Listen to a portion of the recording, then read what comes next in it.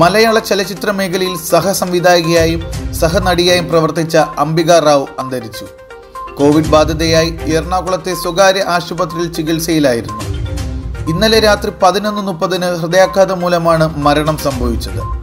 Virus Kumbalangi nights Meesa Madhavan അനുരാഗ കരിക്കിൻ വെള്ളം തുടങ്ങിയ ചിത്രങ്ങളിൽ അഭിനയിച്ചിട്ടുണ്ട്.